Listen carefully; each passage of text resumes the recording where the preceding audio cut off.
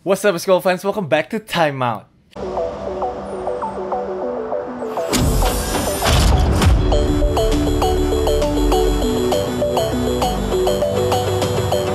Balik dengan Gorky Padilla, kita kembali lagi ke info basket hari ini edisi 30 Oktober 2020 Timeout Gang kita akan memulai episode Timeout hari ini dengan beberapa rumor dari NBA Yang pertama katanya Boston Celtics nih tertarik dengan starting centernya Utah Jazz yaitu Rudy Gobert Kita tahu memang Celtics ini uh, off season fokusnya mungkin adalah untuk upgrade posisi centernya mereka dan mungkin mencari seorang rim protector juga. Dan ini memang kayak cocok banget kalau mereka ingin mendapatkan seorang Rudy Gobert. Masalahnya gue nggak tahu nih apakah Utah Jazz ini akan membuat Rudy Gobert ini available on the trading block atau tidak? Dan gue paling penasaran sebenarnya adalah apakah relationshipnya dia dengan Donovan Mitchell ini udah 100% repair atau belum di Utah Jazz? Serta kita nggak boleh lupa juga bahwa Utah Jazz juga baru saja memiliki owner baru nih. Jadi kita belum tahu directionnya kira-kira akan ke mana.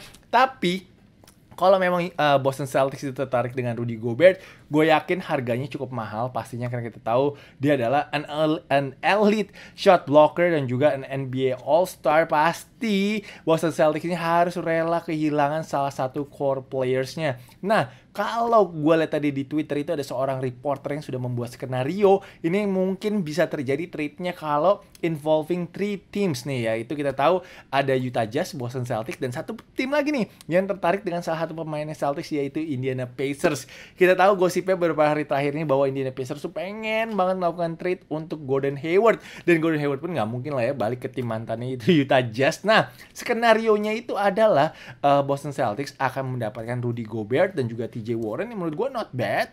Uh, sedangkan ini Pacers itu akan mendapatkan seorang Gordon Hayward, Daniel Tice, dan juga first round pick dari tahun 2020.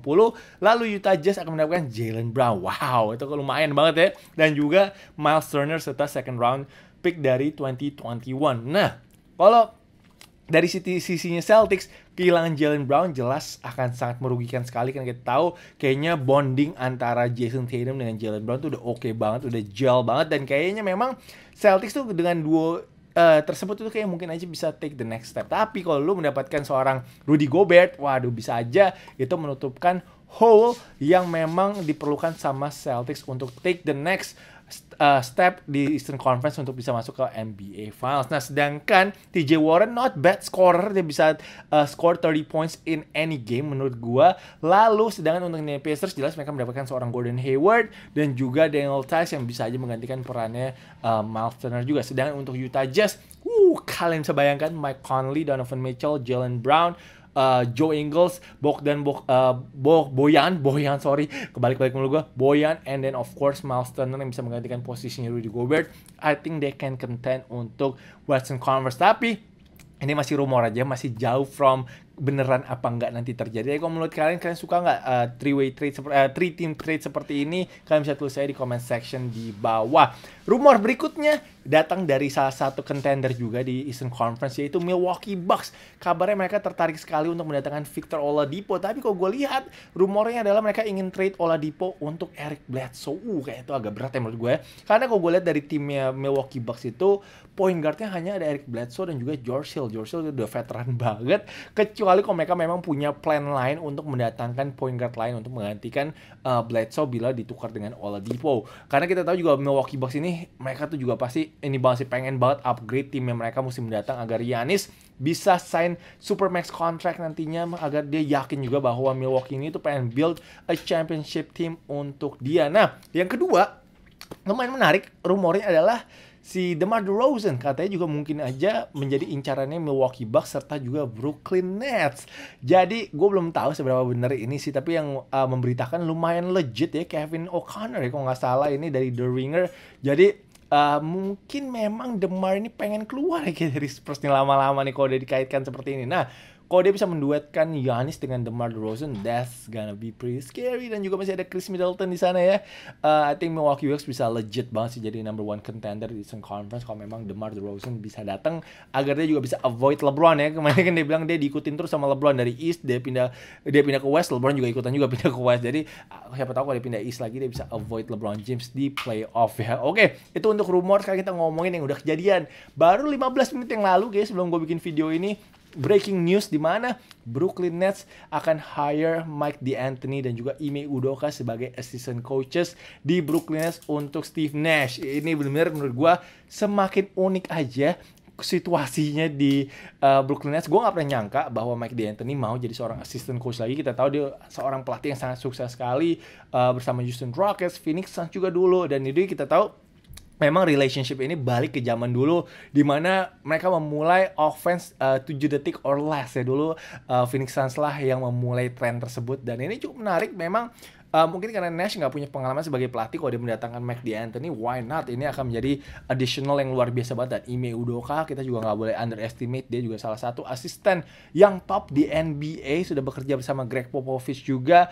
So man Ime Udoka Amari Stoudemire sama Mike D'Antoni bersama Steve Nash. Wah, I think that's coach, that coaching staff benar interesting banget. Gua tim yang paling gue penasaran musim depan adalah Brooklyn Nets asli nggak nggak sabar banget pengen melihat mereka bagaimana uh, they work with a lot of young players and then there's two superstar yaitu Kevin Durant dan juga Kyrie Irving but additional additionnya Mike D'Antoni menurut gue excellent banget untuk Brooklyn Nets oke okay, itu dari NBA beritanya hari ini sekarang kita tanggal 30 Oktober ya berarti ya. Ini uh, memperingati 17 tahunnya LeBron James sudah ada di NBA dulu dia membuat debutnya bersama Cleveland Cavaliers tahun 2003 gue inget banget gue dulu juga hype banget itu zaman zamannya gue baru pindah kayaknya SMA di sana. Jadi gue mengikuti karirnya uh, LeBron James dari Saint Vincent Saint Mary. Jelas hype-nya itu adalah salah satu the most anticipated mungkin the most anticipated debut dari high school player yang bisa langsung naik ke NBA itu saat itu Cleveland Cavaliers melawan LeBron uh, melawan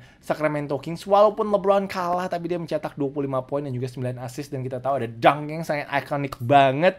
Uh, dulu dia masih mainnya sama Davis sama Zydrunas Ilgauskas sekali sama uh, Carlos Boozer. But akhirnya juga sempat membawa uh, Cavaliers itu masuk ke NBA Finals tahun 2006 ya. Tapi yang pasti 20 uh, 17 tahun kemudian sekarang uh, LeBron itu sudah memenangkan 4 cincin juara NBA dan juga sudah memiliki Clutch Sports. Nah, ngomongin ke Clutch Sports kita akan transisi nih.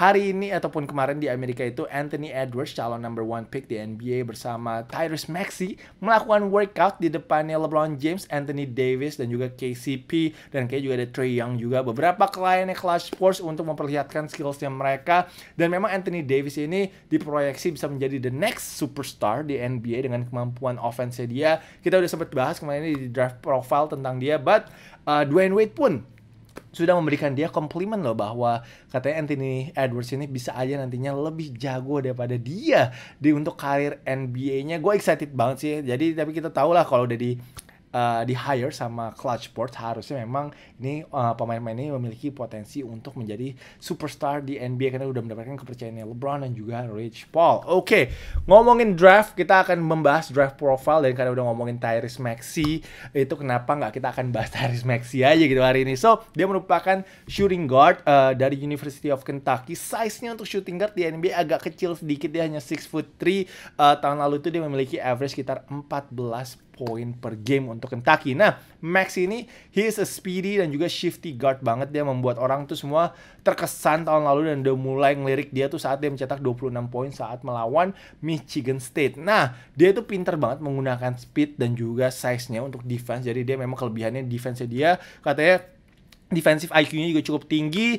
Uh, jadi ini akan menjadi salah satu uh, apa yang membuat ataupun menarik perhatian tim-tim NBA untuk kemampuan defense. Nah, untuk shooting, dia tahun lalu tuh shootingnya hanya 29% dari 3 point shot, tapi kok gue baca dari scout-scout NBA itu uh, sebenarnya shootannya itu lebih bagus daripada persentasenya. Jadi, dia tuh katanya memiliki potensi untuk menjadi seorang scorer nantinya di NBA. Nah, tapi jelas ada selain selain shootingnya dia yang masih diragukan, ada beberapa lagi hal yang dia perlu uh, betulkan sebelum dia masuk ke NBA. Yang pertama adalah dia harus work on his shot selection. Katanya beberapa kali juga dia suka maksain shotnya dia. And of course dia suka out of control saat melakukan drive. Sehingga average turnoversnya adalah 2,2 turnover per game. So he needs to slow down saat nanti dia bermain di NBA. Uh, itu adalah beberapa PR yang harus dibetulkan sebelum NBA nanti mulai lagi ataupun sebelum dia di draft. But uh, Maxi dia di projected untuk bisa di mid first round uh, ataupun di late first round. Tapi kalau menurut gue kayaknya ada tim di mid first round yang butuh seorang shooting guard yang cukup solid yaitu Orlando Magic. Kita tahu Orlando Magic hanya punya ya Evan Fournier, ingat gue, dan dia pun juga player option. Apakah dia akan opt out atau opt in kita belum tahu. Kalau harus kehilangan Evan Fournier, I think this choice will make more sense nantinya karena mereka nggak ada shooting guard yang uh, solid. So gue kok mikirin dia main-main bersama Markel, bersama Nikola Vucevic, dan juga kok Jonathan Isaac udah sembuh, uh, Wes Iwundu, I think he is going to be a great pick untuk Orlando Magic. Spotlightnya juga nggak terlalu banyak. I think he can improve his game sebelum mendapatkan uh, media spotlight. So I think for me sih uh, Tyrese Maxey kayak cocok banget uh, di Orlando Magic. Nah, sekarang kita akan melihat beberapa foto. Wah gila nih turnya Kostas Antetokounmpo belum berhenti. Karena dia nyuruh abangnya si Yanis Antetokounmpo jadi fotografer. Emang kok jadi juara NBA bebas mau nyuruh abangnya yang superstar juga suruh foto juga nggak apa-apa. Dan yang terakhir ini ada foto dari kembali ada NBA City Edition untuk tahun depan yang leak lagi fotonya. Kali ini Phoenix Suns menurut gue Phoenix Suns jersinya keren banget ini.